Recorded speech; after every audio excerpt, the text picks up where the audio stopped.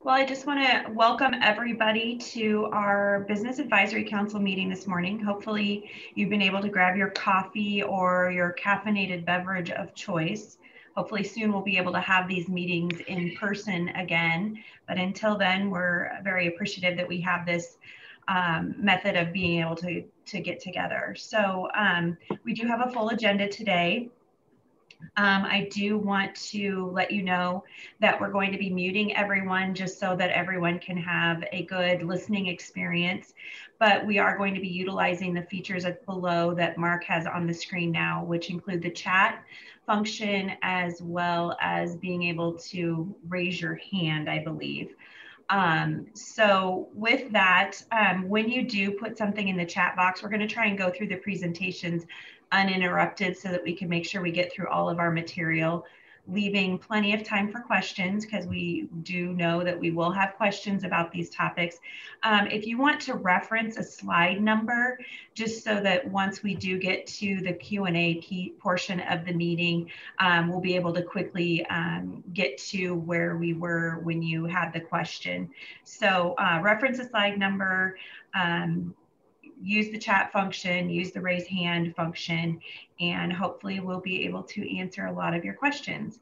And with that, I would like to introduce Kevin Wailes, our CEO, for an executive update. Thanks, Lisa.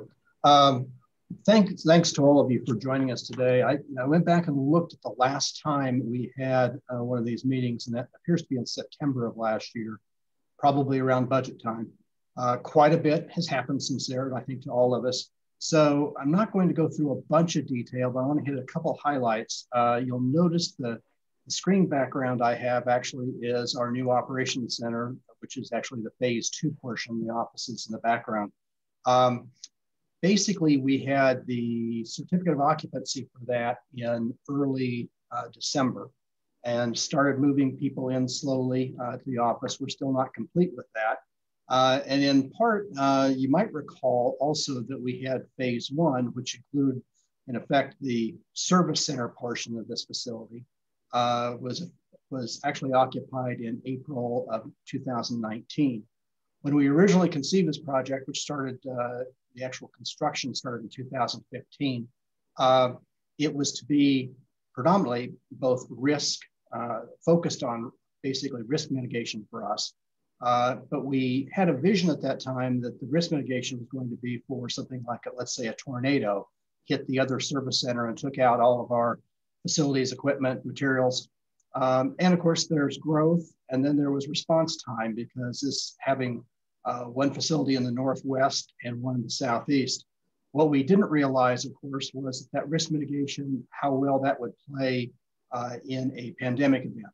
And so that gave us the ability to have our crews split easier when we were separating shifts, doing a variety of things, and even in fact, separating more people than we had uh, before. So this actually turned the first major use of this facility actually was uh, associated with significant risk mitigation for us in our operations in the last year. Um, we have moved in, um, but it's also interesting that we did that in portions. And just a quick piece about uh, how we were dealing with the pandemic itself. Um, we had basically in March of last year, most of our uh, people that could work from home moved from home, moved to work from home, which was about uh, 50%. Uh, all the executive staff stayed in, but everybody else that could work from home did. Uh, we brought them back basically in early August. Um, then in just a, a couple weeks before Thanksgiving, we had a basically made an offer for those people who would be more comfortable working from home and could do their jobs from home, uh, that, that they voluntarily could do that. And that ended up being about 25% of the workforce. So basically since mid-January, we've been bringing people back slowly. We've been anticipating by the end of April, we'll actually have um, everyone back in the workplace again. Uh, so that's kind of where we've been through the work from, from the, the pandemic process.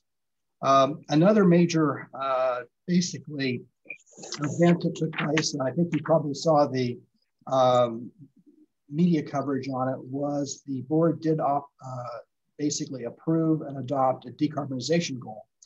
Uh, in November of last year, after about one year of going through an awful lot of uh, sessions and work about different impacts of technology.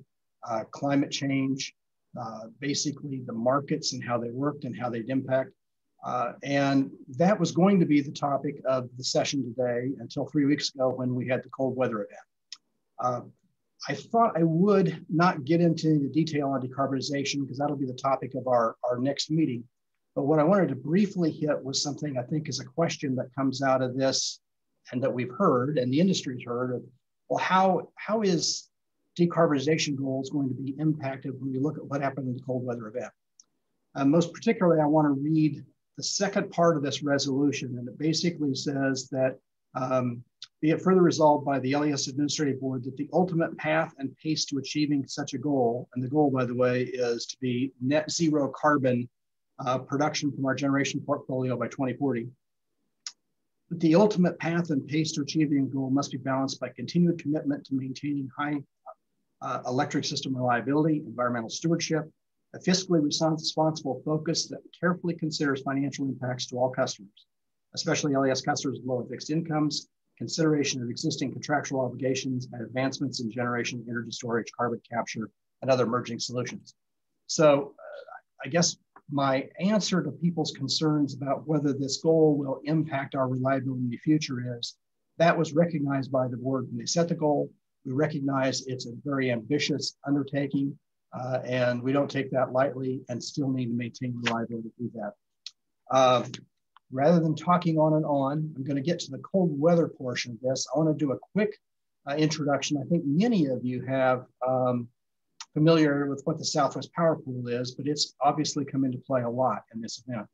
Uh, before I get into that, I want to thank all of you, not only for your patience as we were going through that event, uh, but your support. I think there are, I believe, seven uh, of the 10 companies that, that actually ran generation during the event, I believe are in attendance or representatives are in attendance. Uh, in addition, we had companies offering to reduce loads and doing so uh, as we went through that event. Um, it's important to note for us uh, that we were actually generating for the majority of that time, we were generating more than our load in support of the grid as well. So keeping the, the lights on was not only that extra generation, but those conservation uh, measures that everybody was, was taking as well. Uh, just briefly on the Southwest Power Pool, um, many of you may know this, but Southwest Power Pool is a regional transmission organization of which we're a member. It's got uh, this portion of it is 14 states, uh, reaching from Canada North Texas. And I emphasize North Texas because the bulk of Texas is not in SPP. It's a separate entity, as you may have continually read lately, uh, ERCOT. So the Southwest Power Pool uh, has you know, basically a few major um, tasks. And one of those is it serves as a balancing authority. Uh, balancing authority is, is basically when you balance the amount of generation you have with the amount of load. Uh, used to be uh, prior to 2014, LES did that ourselves. For so we would look at a forecast, we'd bring on generation, buy power or sell power, and balance load generation and our other commitments. Uh, this is now done on a 14 state basis. And the advantage to that is, of course, trying to select the lowest cost resources to serve all of the load. Um, basically the second piece is a reliability coordination. And that's basically to maintain the reliability of the grid. There's another part of that, their uh, RTO is market operations. And so they run the markets uh, just on a, and we've talked, I think, a little bit about this over the years, but basically, you know, every five minutes, the market is settling. We basically bid our, our resources into the market uh, SPP selects the, the, resources that need to run in order to, basically be the most financially advantage for the members. And in turn, uh, they also have to balance that reliability component. Um, and they also do transmission planning on a long-term basis, and, and that's for that entire footprint.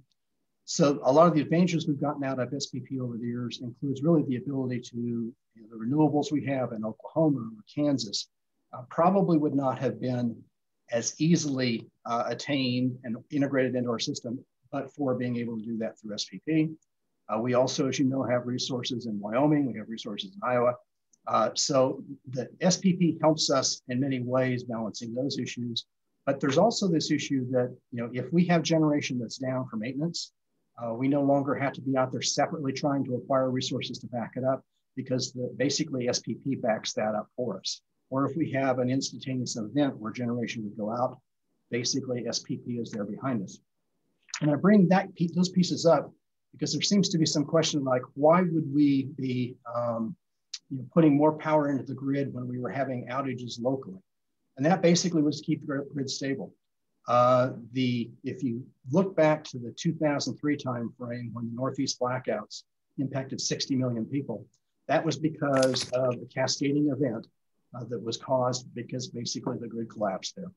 Those are the kinds of, of electrical events that SPP works to prevent.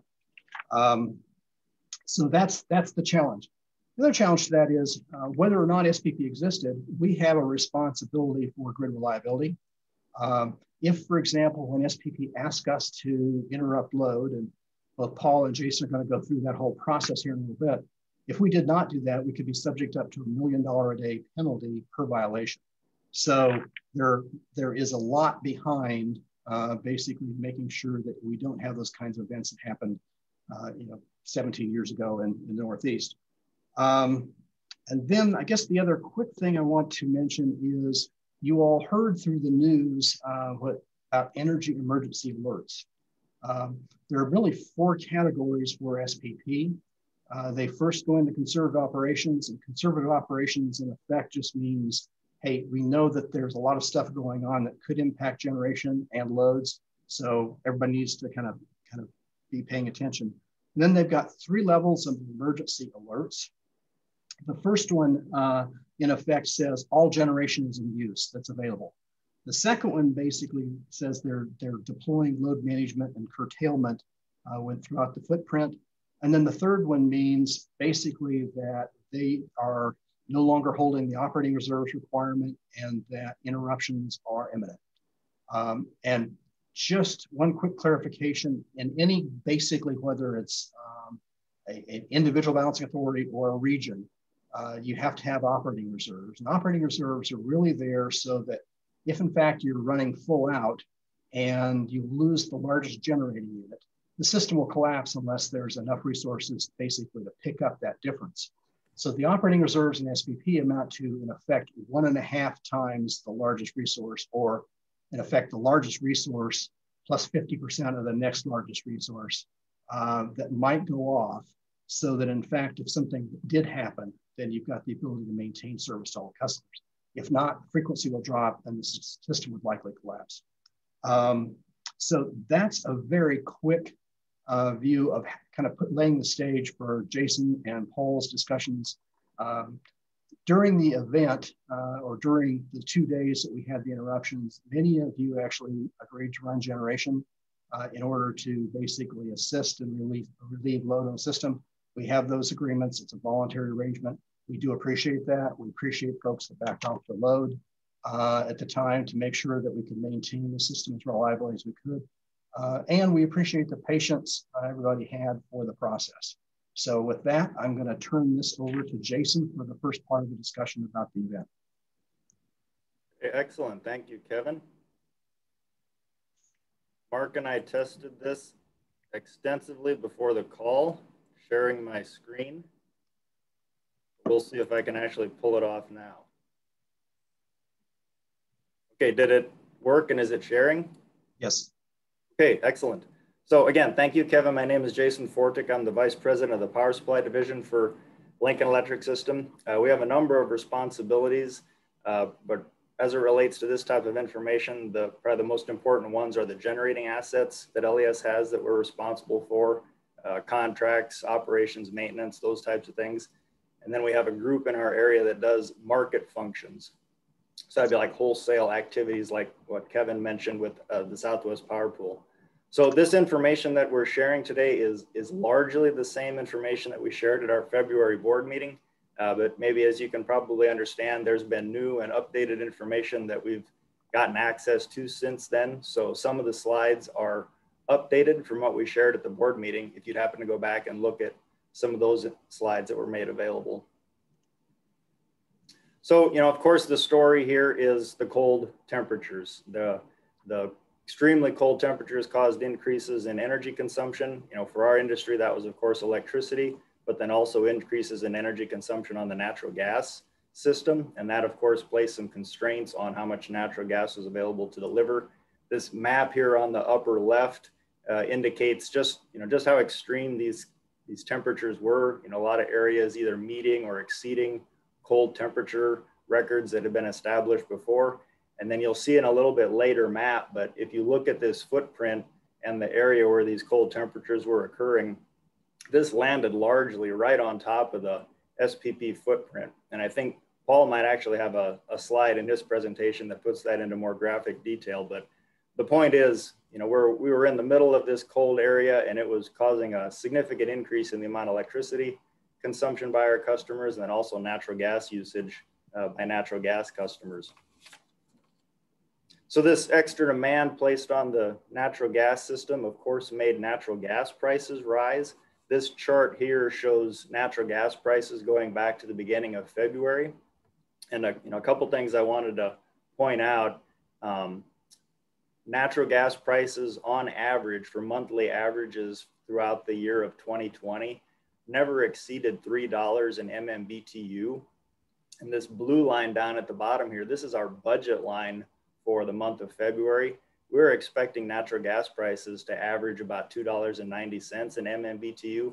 What you can see from this chart, those natural gas prices well exceeded you know, anything we had budgeted for, anything we had experienced in the last several years. We saw natural gas prices rise over the weekend into the 154, almost $155 an MMBTU range, you know, and then by the 17th of the month, approaching $190 in MMBTU, which is just, I mean, it's just really kind of hard for us to comprehend how large that was.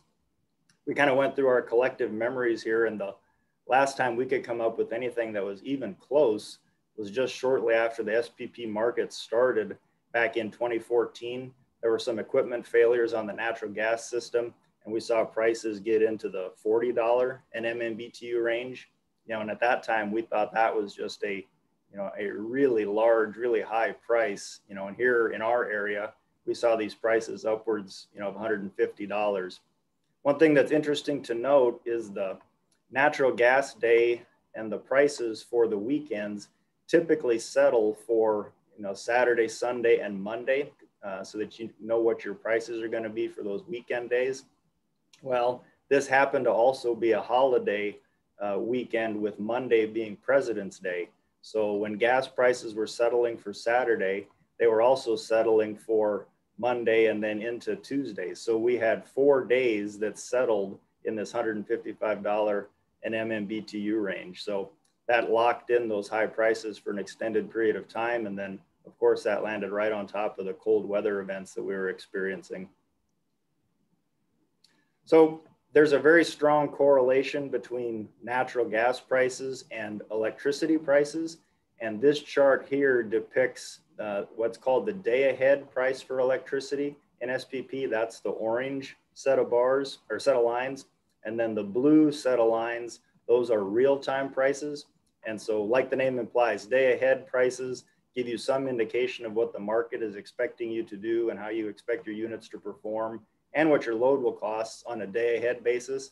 But then the real time prices take into account deviations that occur uh, in the real time. Loads might not be what you actually expected. Your generation doesn't run like you expected. So there are two different market prices. So I, I think that you know the important thing to point out here is we had average prices for 2020 for uh, both day ahead and real time prices that were somewhere in the $20 an MMBTU range.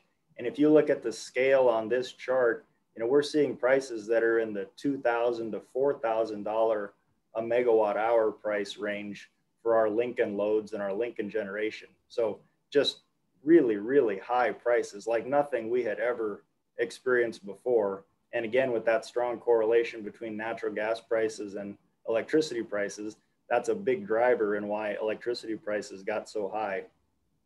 Another thing I want to point out, I tried to use a common theme here with these white rectangles around the two days where we had the curtailment events, the 15th being the Monday when we had curtailment events, and then the 16th being the Tuesday. So I tried to use that theme throughout this report so you can kind of orient yourself on the days that we were having those really high prices and then also you know the curtailment events that were unfortunately occurring for our customers. So this next slide, uh, this gives you some indication of like what Kevin mentioned, the SPP footprint stretching all the way from the Canada border down into the northern parts of Texas. And then this is a map that SPP actually runs on their website uh, all the time. You can go to the SPP website and it'll show you what the footprint map of real-time prices are. And I threw in this map on the left here to show maybe something of a, a more typical day when you would have congestion in the footprint. Each of the different colors represents a different LMP or a different locational marginal price for electricity. And depending on what the loads are on the system and what generation is available, uh, what constraints are occurring on the transmission system, you would typically see some type of congestion and then some type of variation in prices with the, you know, the blue and the cooler colors being lower prices and then the red, oranges and reds being higher prices. Well, when we got into these cold weather event days, the map of the footprint looked more like what you see on the right here, where you had essentially the whole footprint in the very highest price ranges. And if you if you had happened to go to the uh, SPP website and look at the scale on this, this red color uh, is prices that are at or above $600 a megawatt hour. Uh, you know, so like I showed from my previous slide, we were well above that. So their scale was, you know, well below even what the, the actual prices were showing up for some of those days in the real-time market. Kevin touched a little bit on the energy emergency alert levels. So I wanted to step you through here uh, what we were experiencing from a natural gas infrastructure perspective, and then also some of those energy emergency levels that we are seeing from SPP. So natural gas, like I mentioned, a lot of demand on their system, placing a lot of uh, constraints on their system. They had actually declared a natural gas critical day, which is when they're experiencing some extreme strain on their system. Uh, operating conditions are, you know, potentially impacting the integrity of service to customers. It went so far as for some areas that natural gas industry actually uh, declared it a force majeure event. So that means that even customers that have firm natural gas transport uh, potentially could have had those deliveries limited. So uh, again, a very severe event driven by the cold temperatures, a lot of demand for both electricity uh, and generators burning natural gas to produce electricity, but then of course, you know, homes, businesses, other customers using natural gas in their processes or for heating. And so as you went through the day, you know, I've kind of stepped through here how SPP went through their energy emer energy uh, emergency alert levels, you know, level one up through level three. Those level three events, those are where the uh, SPP and their reliability coordination function are uh, allowed and actually required to ask for curtailment of customer load if the events are that significant. And so then you can see how, how those lined up with the actual curtailment events that we had with reaching the EEA level threes late morning on Monday. And then we had the curtailment starting, uh, you know, just shortly after that and, er, you know, noontime early into the afternoon. And then on Tuesday, the curtailments occurring starting quite early, actually Tuesday morning. And I think Paul is going to get into a little bit in that in more detail. Um, just one funny story I wanted to share. You know, a lot of times this stuff is happening behind the scenes. Um, you know, there's there's just not a lot of talk about natural gas event days or critical days, energy emer- energy emergency alert days. One of my coworkers said uh, that they went home and their spouse actually was reporting to them uh, what energy emer- energy emergency alert level we were in, and then also what the SPP footprint looked like. So some of this stuff went from being pretty secure to all of a sudden people's spouse watching it very closely and paying attention to what type of alert level we were in. So Paul is going to touch on this a little bit more, but this again is something that we shared with our board. It's a map of the locations across our service area where we uh, implemented those managed outage instances. The blue sections on here, those are curtailment areas that occurred on Monday, and then the orange areas on this map, those are curtailment areas that occurred on Tuesday. Um, again, that EEA 3 level was the trigger for initiating some of those curtailment events. Um, again, Paul's going to jump into a little bit more detail, but I think the total number of customers was about 47 to maybe 48,000 customers impacted. Uh, on Monday, they requested that we curtail about nine megawatts of load, which was just a little bit under 4,000 customers. And then on Tuesday, in a couple different events, uh, they got up to asking us to curtail about 38 megawatts of load. So something around 44,000 customers. And just to put that into perspective, our all-time peak summer load is about 786 megawatts. And we happen to set a new winter peak load during this time period of about 624 megawatts. So just to give you some perspective on the, the magnitude of curtailment they were asking us to, to, to uh, place on our system. So as you can imagine, there have been a lot of questions about how did LES's resources perform during this event, and then also what was happening across the entire SPP footprint and how those resources were performing. So this chart shows the few days of the event for LES's local natural gas resources. And again, I've highlighted those curtailment days, the 15th and the 16th here with the white boxes. This top set of uh, kind of orangish yellow lines, that's our Terry Bundy generating site on the northeast part of town.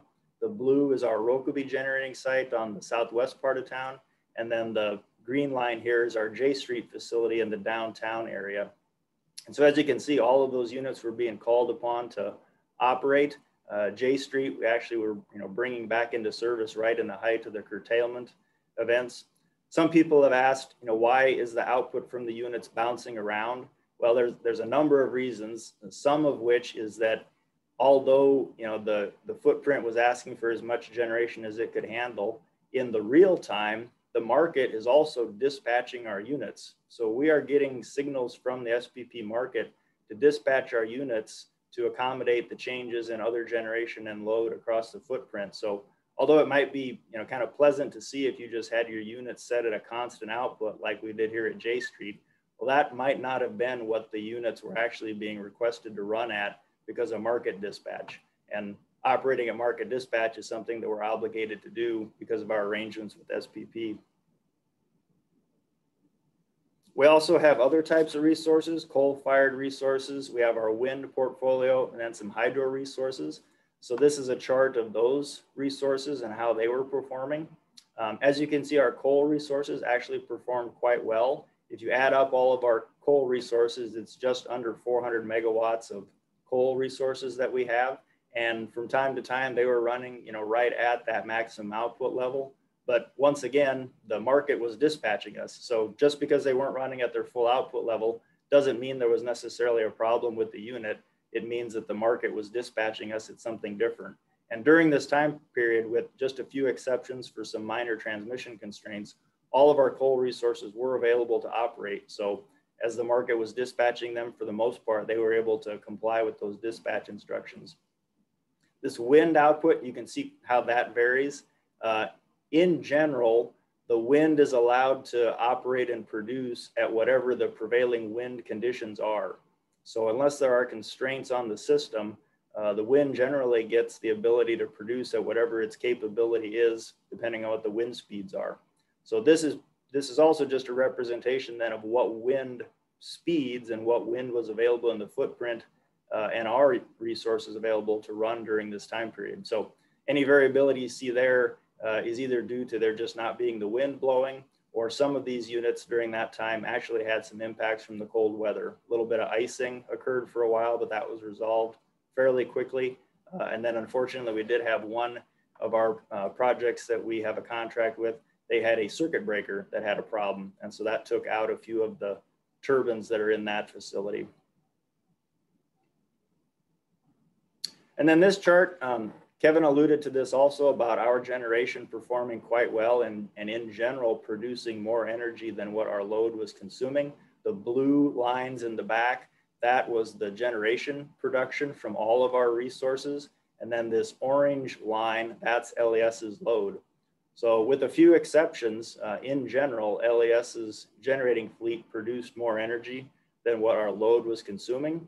And that, of course, was you know a very good thing for the for the footprint in terms of reliability because we were able to help keep the system reliable, make more resources available. But then also it will be a financial benefit to us because if the load is experiencing very high prices, you know, to, to purchase load in the market, well, then your generation is also experiencing most likely very high prices and creating a lot of revenue. So if we were able to produce more energy than we were consuming and it's collecting some of those very high market prices that you saw in an earlier slide, that has a positive impact on us financially because we're able to produce energy and create more revenue than what our load costs were incurring at the time. So um, there have also been a lot of questions, as you can imagine, over the last several weeks about what was happening in the footprint. I would expect this type of information to be analyzed and reanalyzed and lots of questions going on for you know weeks or months or maybe longer. But we did pull some together, pull together some information to try to give you a little bit of an overview of what resources we're producing and in what magnitudes across the entire footprint. And so we've got them labeled here. You've got coal in the blue uh, section of these bars producing at a pretty consistent level throughout that whole week. And then also during the, you know, the two curtailment events, you had a pretty significant portion of the total energy being produced coming from natural gas resources. Uh, the hydro and nuclear resources uh, generally perform pretty consistently. You'll see on a later slide here, uh, nuclear is actually very consistent in its output. And then wind varied, again, largely because either the wind was or was not blowing or some type of icing or maybe other cold weather impacts to the equipment.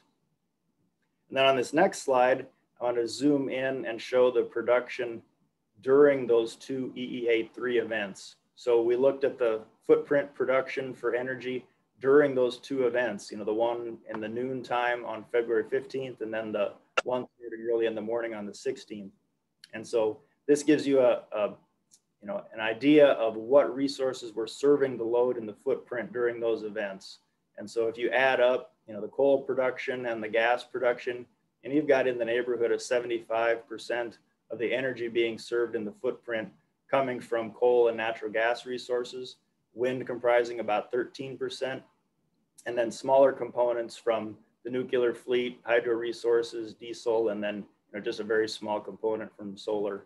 And it's important to realize when you look at this information, there are different amounts of total generation from each of these resources in the footprint.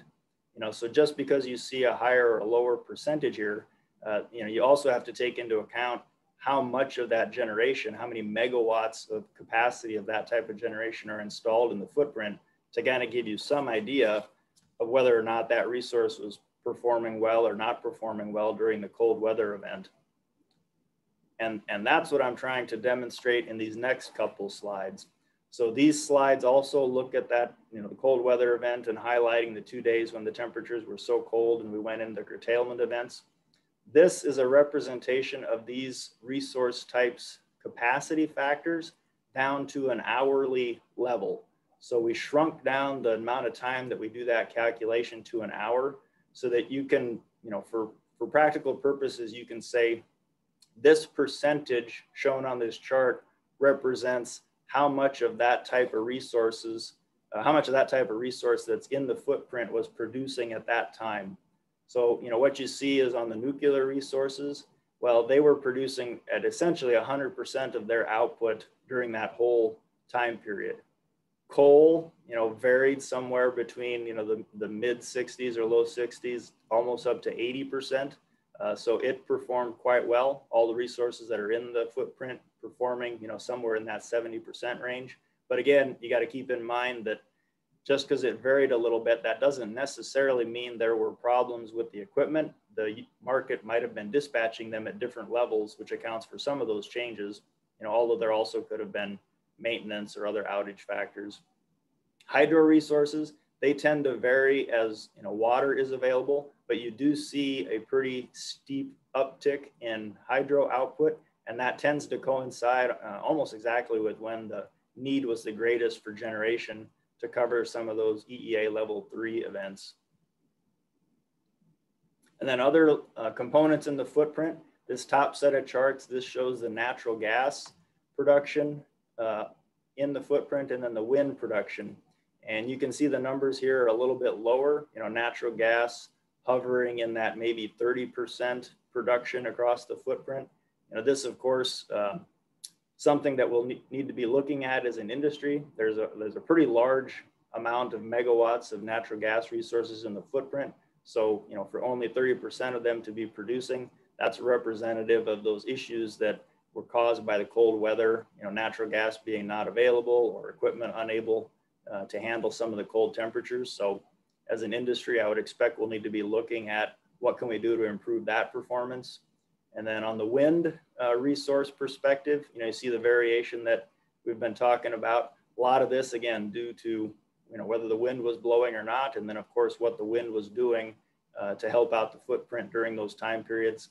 You know, you're looking at maybe like something around 15 to 20% of the wind in the footprint producing during those coldest periods. And then diesel is not actually something that we talk about too much in the footprint. It's actually a relatively small number of megawatts available in the footprint, but it got called into service wherever it was available and could produce.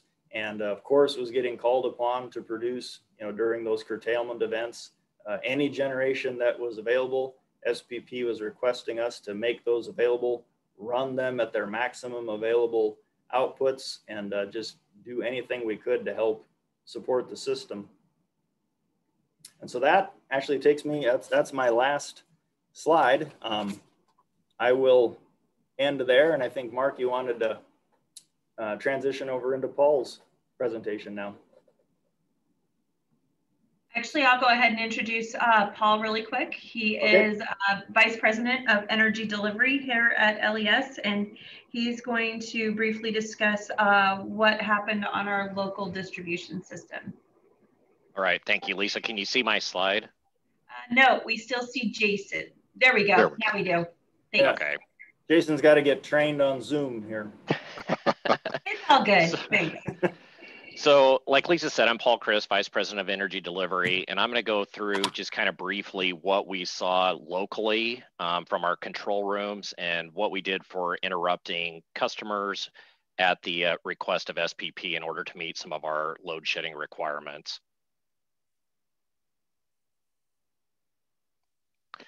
So one of the things I just want to show, just kind of give you a high level overview of what was going on, and Jason covered a lot of this with the cold weather event, we were um, seeing stuff being prepared. And as Jason said, a lot of this stuff was going on even in the weekend.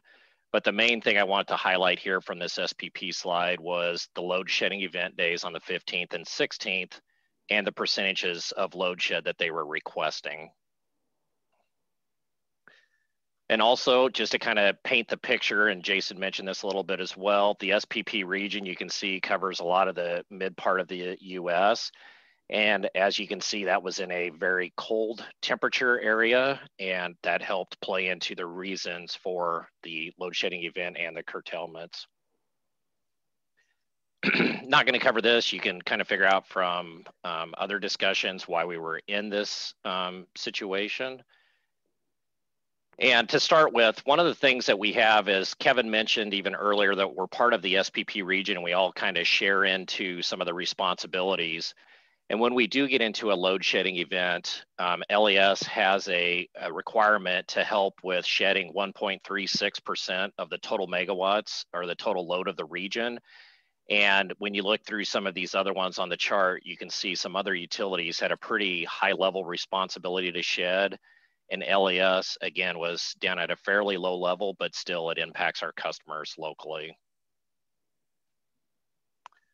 I'm not going to go through the the step by steps here. Jason had that on his slide. Probably the big thing though, like the EEA2, the energy emergency alert level that Jason referenced, that was the first time in an 80 year history for SPP that occurred. Um, at this point, I will say our control room started to um, put together some documentation and starting to track stuff of what we were doing as far as public appeals and trying to get customers alerted to a possible um, event, anything else going on. And then at 10:08, as Jason mentioned, we hit the first time in the 80-year history of that load shedding for firm load. So by the time there was our, our control room was scrambling to try to get our plans together that we practice on tabletops um, every year. The operators go through a lot of training to get this ready. So they were trying to put together the list of circuits or areas of town where we could shed the load. But the big point here is we do not know how much load we have to shed until SPP gives us that that amount. So at 1204, um, SPP came up that throughout the region, they wanted 610 megawatts of load to be shed. And of that portion, LES had to shed nine megawatts of load. So at that point, we have a, a regulatory requirement to shed that load as quickly as we can. So that's when you saw that first load shed on that day, and it was only nine megawatts, which we again, we have no idea how much they're going to ask us to shed and what they need. So that was something that we tripped out those couple of areas of town that Jason mentioned, and I'll show a little bit more again here later. And then that event lasted about an hour. So I will say after that time, after going through this the first time, even on Monday, we all regrouped. We heard customers, you know, calling in, requesting how can we get better notification and what's going on. So we kind of put together an outage map to try to predict where things would be. And on the next day, I'll kind of talk about that a little more. Um, when you look at the areas of town, these are essentially broken down by our feeder breakers um, throughout town. You can kind of see at that 12 o'clock, 12, 11 hour, we had to have nine megawatts.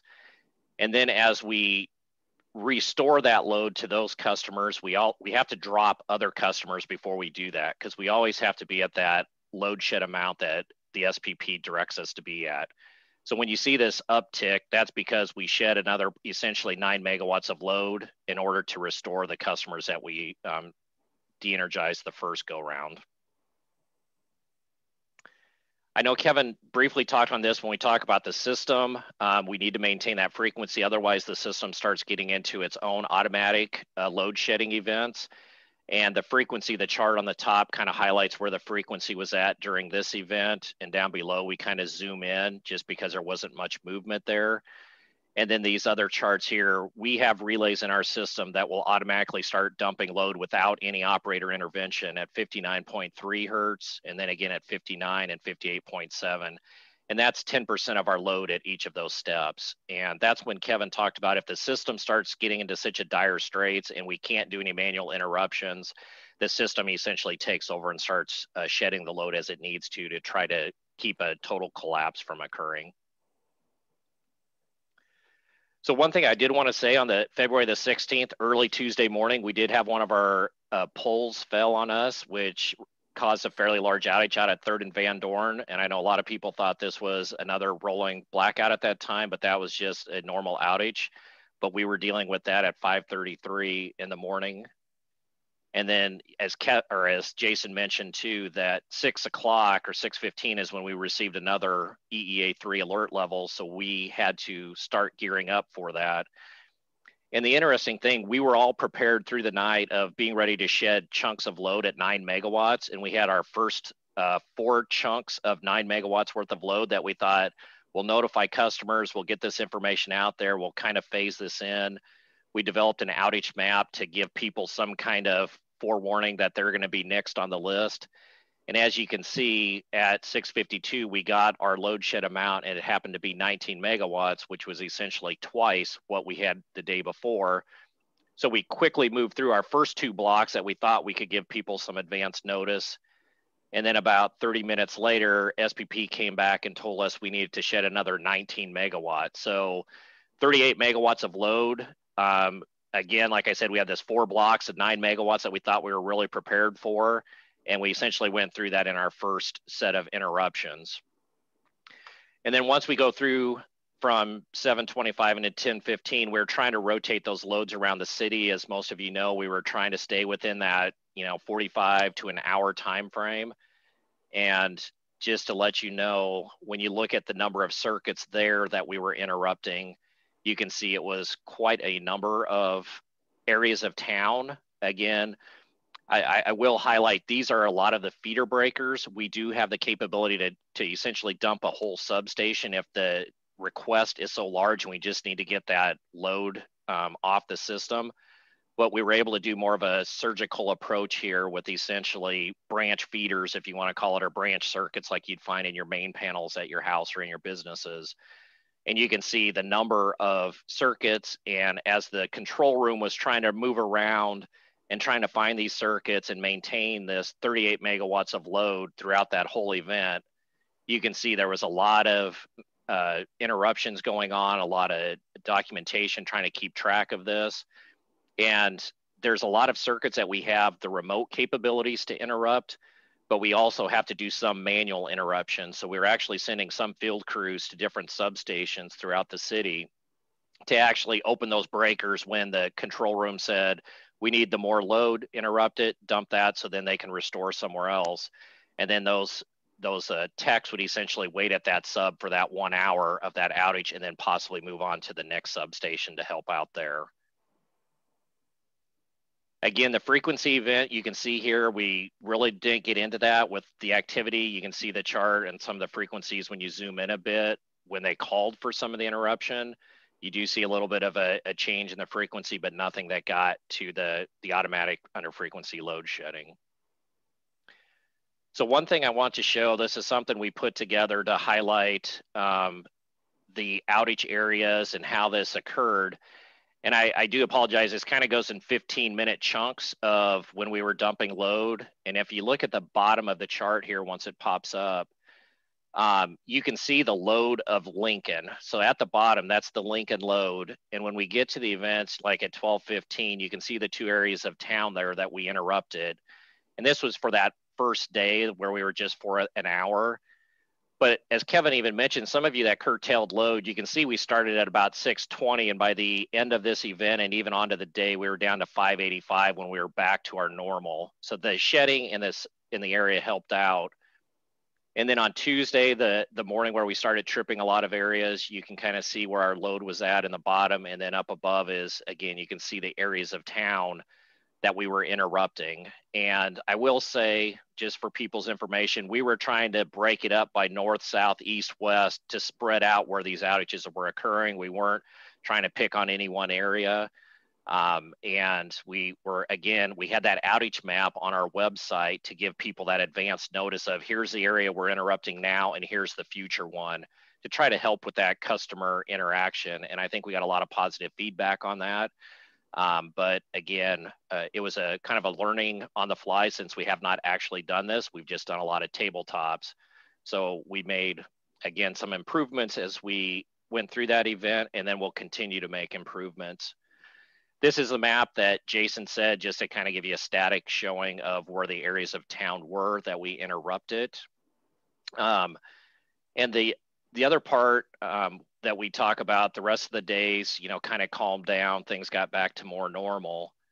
Um, but during these events, I did want to highlight we do have critical loads that we identify. And when we say critical loads, we're thinking about the hospitals, water pumping stations, um, sanitary lift stations, all those things that are more of critical to the welfare and safety of the public. So we do have those identified, or we try to identify those on an annual basis. Um, one thing we quickly found out on this one or on this event, there's a lot of surgical centers that have opened up around town that we're probably going to go back and do a deeper dive on that just to make sure that we're not interrupting a surgery center throughout the city. And, you know, again, we're trying to make improvements as we go along as well and trying to improve some of that communications that we can do along the way when we gave this presentation to our board, there were a couple of questions like how many feeders did we actually go through and where did we end up at? So when we think about it, we have 36 um, serve or load serving substations throughout the city. They're about spaced two miles apart from each other. And from there, we have about 182 feeders. These are those individual branch feeders that go out into the surrounding neighborhoods that are serving load. And then we had about 28 feeders currently that are identified with critical load. So we tried to avoid those 28, but some of you may um, understand as well too, we're constantly switching our, our feeders around or the open points we call them when we're doing road construction or we need to de-energize a section of line.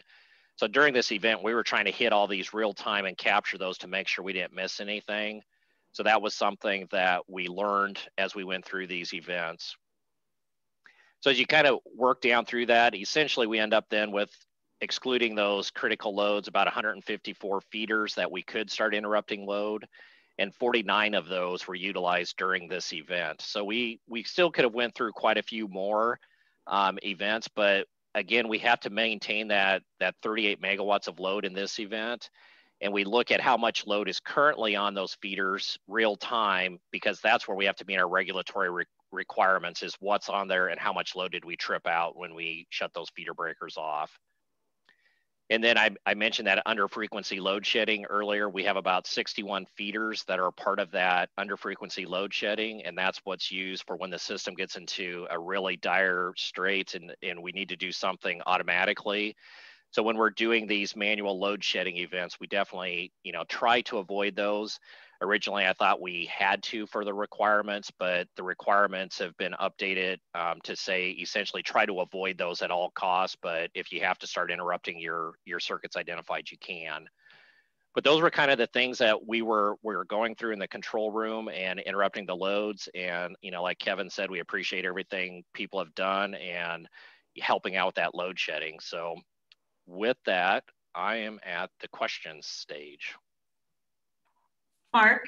Yes, we if do you have. Don't mind, um, mm -hmm. I'm just going to add a few other just quick facts.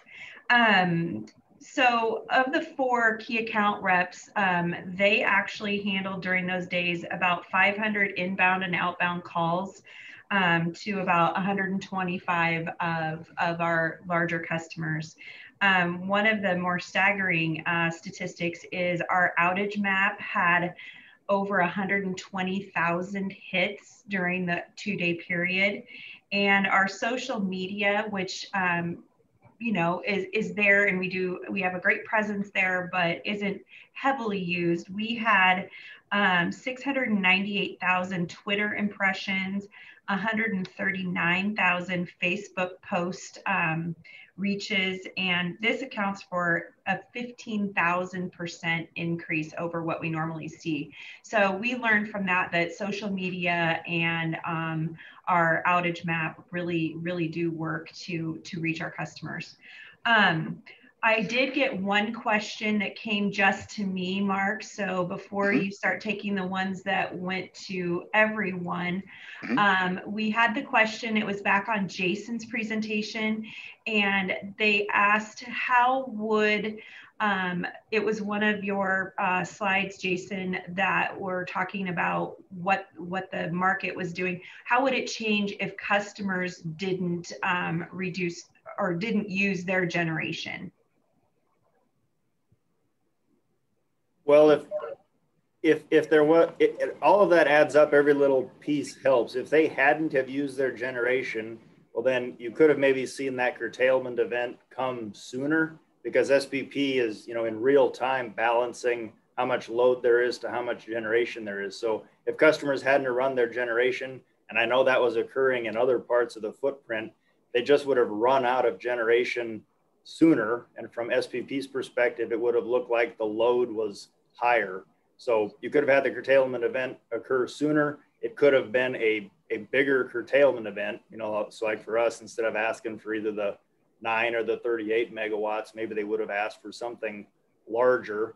And then, you know, that could have been impacted by all the other areas that were maybe also running customer generation if it was available. The total request to curtail across the footprint could have just been a larger number. Just add on that, you know, uh, since we had basically three different blocks. You know, in the winter, typically you have a morning peak, and after or an evening peak. Uh, and so the blocks we'd set up to request uh, folks that were willing to run, if you think about it, we did not have to do interruptions in either evening period, either on Tuesday or when, I mean, Monday or Tuesday. And that's when you all were doing that. So it's likely that that had another way of assisting what Jason's saying is we were bringing the load down overall on the footprint uh, to, you know, to take care of that. Um, a couple other things struck me. I wasn't sure that we talked about the magnitude of the number of customers we interrupted.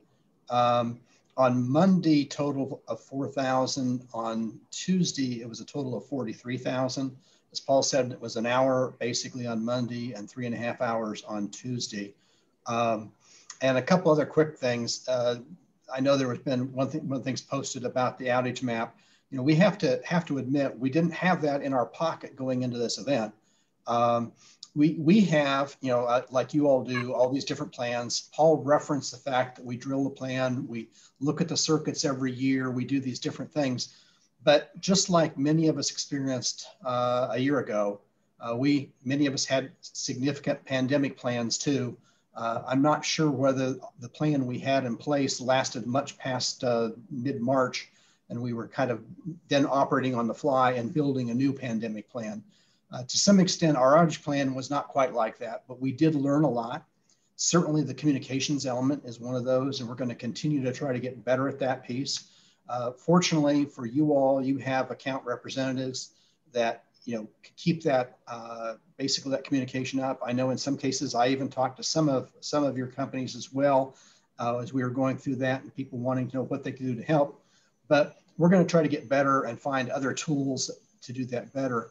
Uh, staff deserves a great deal of credit in developing that enhancement to the outage map overnight because it did make a dramatic difference. And that is certainly something that we're going to keep. Uh, we're just going to hope to get better with the communications piece. Um, one of the things I wanted to mention that Jason talked about diesel and natural gas. You know, for us, we do keep some firm gas transportation, but it's not enough to support all the gas resources. But on the other hand, as LES has added generation over the years, we've typically built on in the footprint for natural gas dual fuel capability. And as many of you know, that's not necessarily uh, the standard, but what we've done is we do that because of reliability. In many cases, however, in this particular event, the first time in my 45 years in the industry, um, fuel oil was a more economic choice to run than natural gas. Uh, so it was kind of an interesting position to be in. And then finally, uh, maybe beating a question that, that may come up is what's the financial impact that we're going to see out of this? Um, right now, uh, we believe we're going to probably, you know, that we're going to be break even or a little better. Um, and I, I'm cautious about how we, we've done evaluations on it. Uh, I'm very cautious because any of you that have been reading the Wall Street Journal, for example, know that there's lots of things going on, particularly in Texas now, but I don't know that it'll be limited to that. And looking at what happened in the markets, should there be some retroactive caps put in place? Um, quite candidly, I have no idea how you do a retroactive price cap and then try to figure out what would have happened if you hadn't done wherever the market was at that time. But because of that, we're very cautious about talking about, you know, kind of where we end up financially. We're pretty confident uh, that we'll be at least break even. And it's likely we're going to be a little better than that because, as we said, we were running generation at a time when it was needed and it was actually quite profitable. So we're working our way through that, uh, and you know, we're going to be having further discussions. But just as a reminder, it, those of you who remember the days of Enron, uh, it took until a few years ago, so it was like 10, 15 years before a lot of that Enron stuff settled. I don't anticipate that that's going to happen here, but I don't think it's going to be quickly. And I think there may be both government and regulatory intervention looking at, at this, probably more predominantly in Texas than the SPP market, uh, but our markets went very high as well. So uh, just a few extra thoughts. So I have a question here from Kirk Conger at UNL, uh, actually a couple questions. Um, the first is, will SPP or LES be under official pressure to add or maintain additional traditional generation by because of this event? That's the first question. So um, I, am interpreting that as basically an accredited capacity question. There are there are rules in the SPP, well, for all the utilities, but rules in SPP about how much additional generating capacity you have to have, and it's a it's a term called accredited capacity, which means the amount of generation that you can actually count on to produce when you are in your most extreme needs. Uh, a lot of that is accredited based on summer conditions, not necessarily winter conditions. So what what I would expect out of this is there's probably going to be a you know a deep dive and a review on how each of us utilities are accrediting or would accredit our units for winter operations. You know, because clearly not all the units operated like you would have expected or maybe would have hoped when the temperatures got that cold. So um, I don't think we mentioned it, but SPP has launched an effort to do a deep dive and a lessons learned and you know basically just a very thorough analysis of all that this has occurred. And at one of the meetings that i participated with their uh, chief operating officer said that that's most likely something that's going to get looked at. How are units accredited or what are they rated for to run in winter or cold weather conditions in addition to summer conditions yeah and actually that's also the good point about that that the uh, North American Electric Reliability Corporation and the Federal Energy Regulatory Commission have also identified that they're going to be doing uh, a significant review of this. SPP has, and I think SPP had like eight segments that they were looking at different kinds of teams. Internally, we're doing something similar. Clearly, we believe that we performed well, but we want to get better. Um, the accreditation issue is somewhat interesting because, and, and just so everybody understands, you know, one of the questions that has been coming up is when didn't perform? Um, well, it's true to some extent it didn't perform as much as maybe you would have wanted. But you know, if you look at and, and the example I would use is we've got basically 100 megawatts of wind in Oklahoma, 100 megawatts in Kansas, and 100 in Nebraska. Um, one of those 100 megawatt increments is accredited to like 55, 60 megawatts. In other words, that's what it's accredited for because of its history of how it runs, basically, as Jason said, on peak. We have others that own the other basically two blocks are only about 15 megawatts of accreditation for 100. So if you're if you have 100 megawatts wind generation and you're only accrediting it for 15 megawatts, you really didn't have really high expectations for it to be operating during peak. Um, and we, in some of ours, we're not operating at accreditation over that period. But it was also interesting when we did the those different contracts and we did them based on RFPs and bidding and financial. We, we actually thought having them in different regions was a good idea, both because of market differences uh, as well as the geographic differences. And we did see over that those basically those few days where in some cases the wind in Oklahoma was running really well and nothing was happening in Kansas or Nebraska and vice versa. So there is something to be said for getting that geographic diversity as a part of our portfolio. Um, just as you might guess, there's an awful lot of complexities and we're trying to kind of boil it down so you all can have an idea and ask questions about what, what parts of that interest you. But um, there were a lot of pieces in play uh, as we went through that whole process. Robbie made the uh, Robbie Swanson made the the comment that the outage map was absolutely critical for their business, um, and uh, greatly appreciated. They have many assets that cannot just lose power without being taken down properly, and we know there's a lot of customers in our service territory that that are in that similar situation. Um, Jim Hines uh, asked, um, do you have any information about how public utilities manage these events compared to investor-owned utilities? Um, any thoughts about public versus investor-owned in terms of their performance? I don't think we've had, you know, seen enough information on that. Um, we do know, you know, Nebraska itself is an all public power state. Um, you know, the three major utilities in Nebraska all performed well. Net Nebraska was a net exporter into the market uh, during the significant parts of the event. Um, so, but at this point, I don't think there's been enough information provided for us to know exactly what the experience was.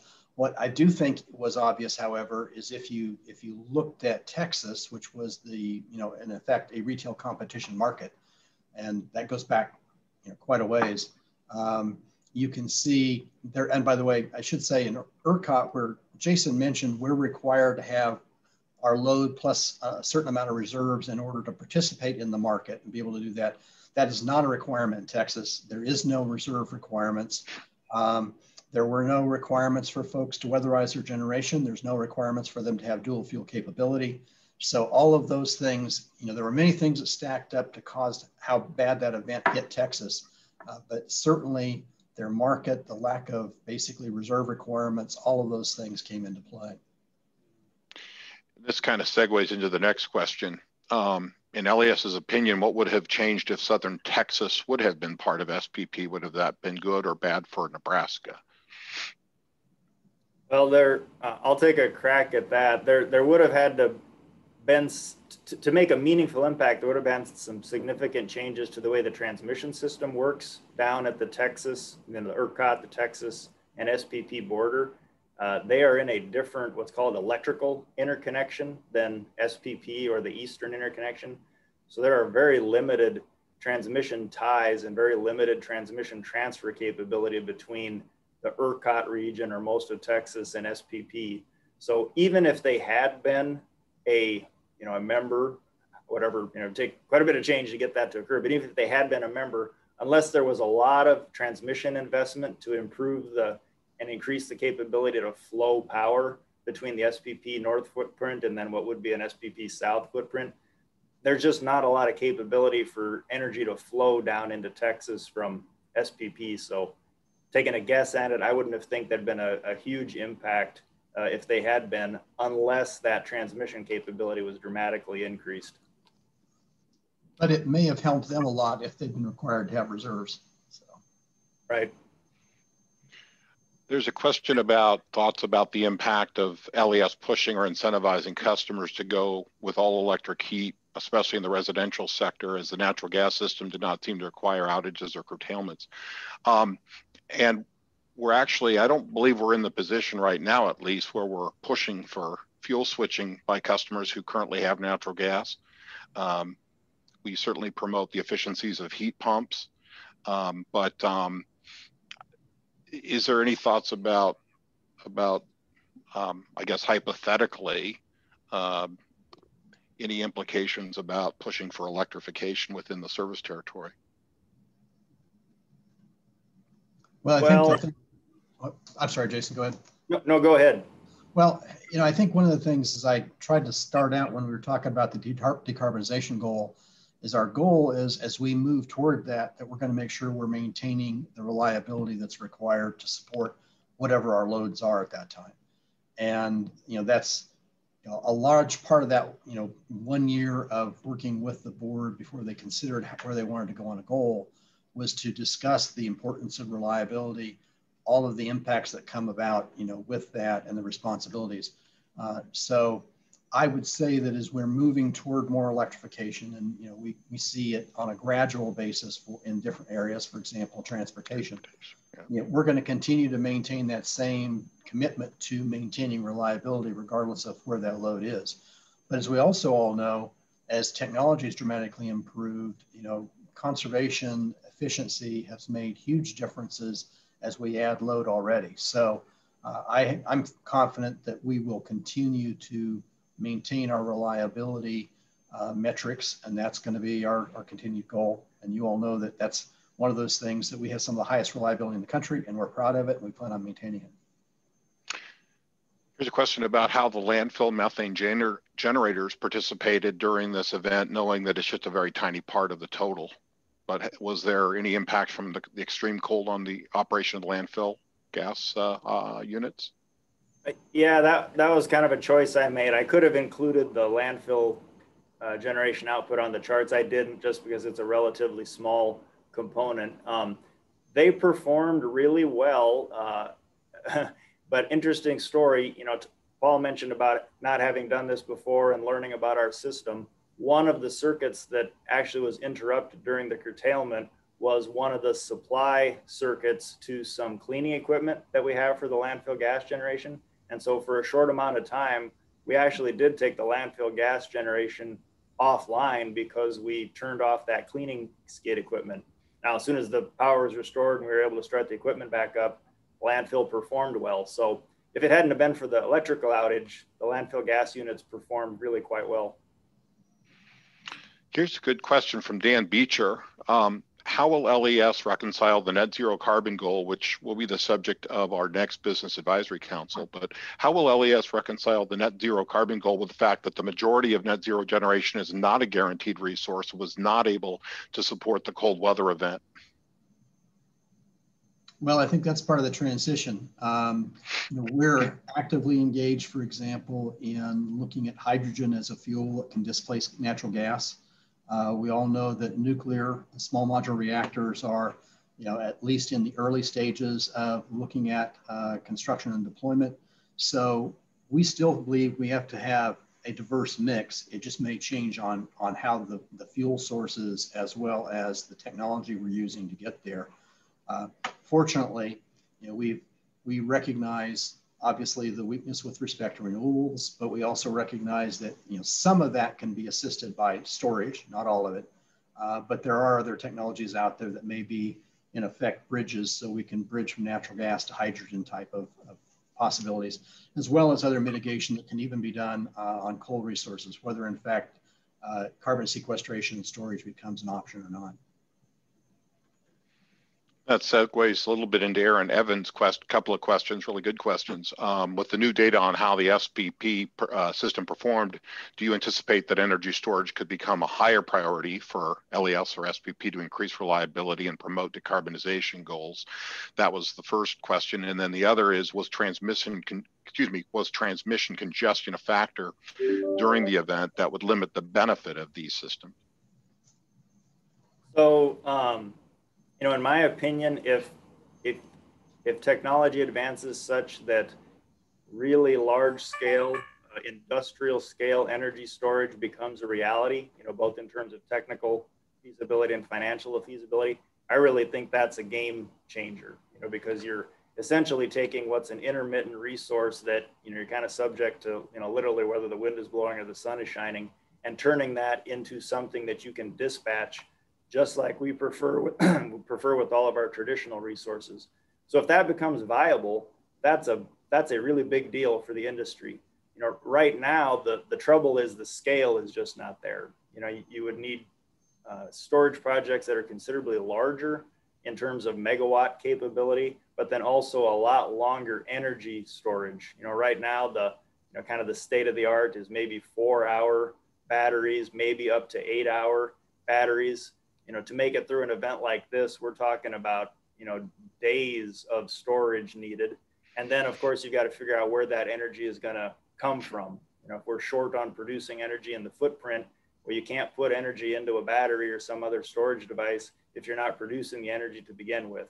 So there'd have to be a significant build out of resources available to produce the energy and then some pretty significant improvements in the storage technology. But if you look at the curves at how that technology is evolving, uh, it wouldn't surprise me at all if you know you see over the next several years some really large advancements in the capability of, of energy storage and that would be a, a really big change and a really big benefit to our industry.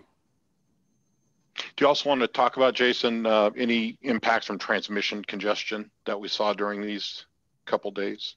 Yeah, well, I, I just briefly touched on it. Um, we did experience a little bit of transmission congestion in the western part of the state and then uh, into Wyoming, where we have one of our coal plants.